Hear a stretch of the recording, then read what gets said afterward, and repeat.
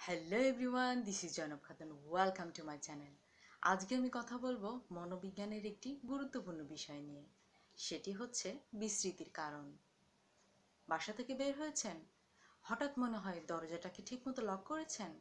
চুলা কি এখনও জ্বলছে?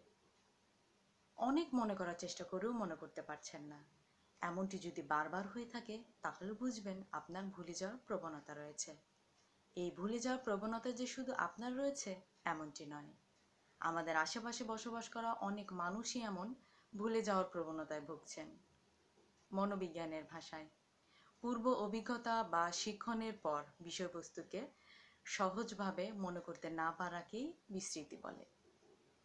মনোবিজ্ঞানী ক্রাইডার কোথাল স্কেভান ও সলোমন বলেছেন বিস্মৃতি হলো একটি নির্দিষ্ট তথ্যকে সঠিকভাবে পুনরুৎপাদন করার অক্ষমতাকে বোঝায়। চলুন জেনে নেই মনোবিজ্ঞানের আলোকে বিস্মৃতির কারণসমূহ। অব্যবহারজনিত স্মৃতির অবক্ষয়। কোনো বিষয় আমরা বারবার প্রচেষ্টার মাধ্যমে শিক্ষণ করে থাকি। তাই শিক্ষণকৃত বিষয় যদি অনুশীলন না করি, তাহলে কালের স্রোতে হারিয়ে যায় বাচনিক অনুষঙ্গের অভাব। মনোবিজ্ঞানী ওয়ারসনের ভাষায়, ভাষার অভাব বা বাচনিক অনুষঙ্গের অভাব বিস্মৃতির অন্যতম কারণ। মনোযোগ এবং অনুরাগের অভাব। কোনো বিষয়ের প্রতি যদি আমাদের মনোযোগ এবং অনুরাগের অভাব থাকে, তাহলে খুব সহজে আমরা সেই বিষয়টি ভুলে যাই। আঘাত। মস্তিষ্কে আঘাতের কারণে বিস্তৃতি দেখা দিতে পারে।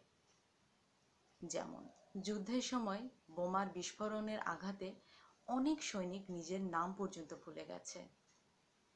আবেগজনিত প্রতিরোধ, ভয়, রাগ হিংসা, ঘৃণা ইত্যাদি পরিস্থিতিজনিত আবেগ যদি তীব্রভাবে জেগে ওঠে, তাহলে দেখা যায় যে ভালো করে শেখা বিষয়ও মনে পড়ছে না। এগুলোই ছিল মনোবিজ্ঞানের আলোকে বিস্তৃতির কিছু কারণসমূহ। এই ভিডিওটি যদি আপনাদের ভালো লাগে, তাহলে অন্যদের সাথে শেয়ার করুন এবং এই ইনফরমেশনগুলি তাদেরকে জানার সুযোগ করে দিন।